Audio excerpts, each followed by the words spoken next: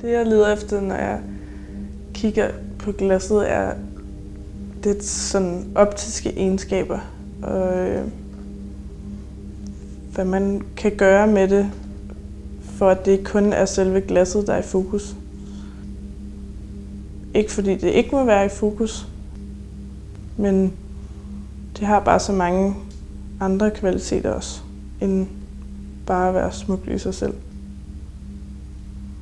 Det jeg synes, der gør glasset så unikt, er dets transparens hovedsageligt. Og det er jeg allermest fascineret af ved det. Øh, men for at der er transparens, er det også en nødvendighed, at der er lys. Så derfor så tager mine værker på en eller anden måde altid udgangspunkt i lys og glas. Men jeg kan ikke lave et værk i glas uden at sætte det i forhold til lys.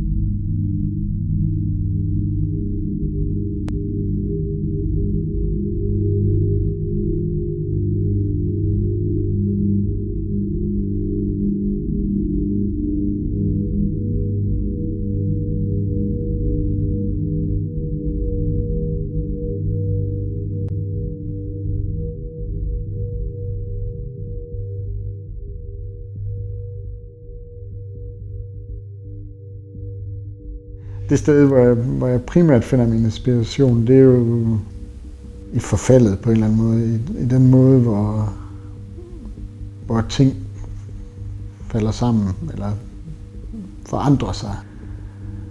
Når man går rundt og kigger på bygninger, altså at se, se bygninger i forfald, hvordan at de også forandrer sig dag for dag. Hvordan, hvordan jeg kan skalle lidt af dem. Så lige pludselig kan der være et brud i en, en bygning, som, som på en eller anden måde ligger godt, men det er bare lige det rigtige sted, at, at lige præcis det stykke pus, det er jo faldet af i forhold til, til fladen.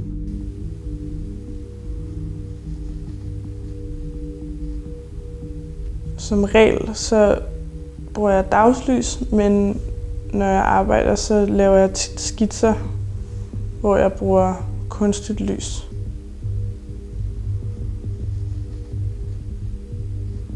Og så registrerer jeg rigtig meget, med, både med fotografi og bare kigger.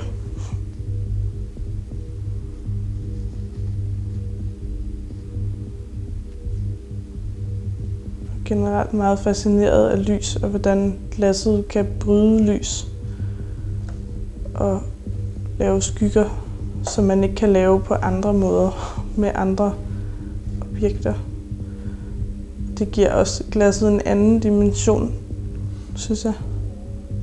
At det kommer, det ikke er glasset, der er i fokus.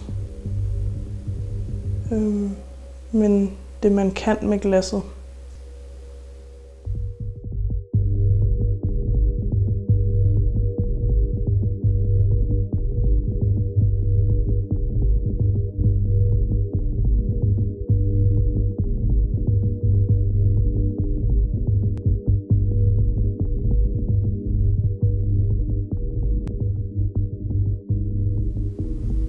Kan altid se noget, der er menneskeskabt på en eller anden måde. Det der naturlige tilfældigheder, de er simpelthen så svære at opnå.